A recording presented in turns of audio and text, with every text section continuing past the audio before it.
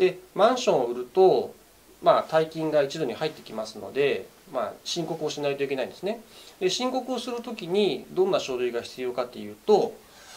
例えば3000万で買ったマンションを3500万で売った場合の話なんですがまずこの3000万で買った時の売買契約書もしくは、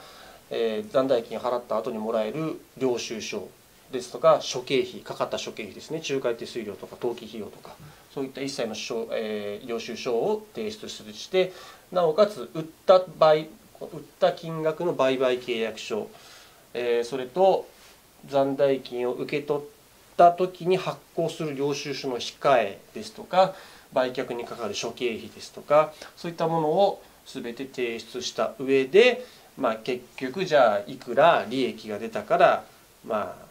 税金がかかりますね。かからないですね。短期譲渡所得ですね。長期譲渡所得ですね。もしくは自宅として使っていたようなのでこれは3000万控除なので税金は利益は出てますけど税金は無税ですよ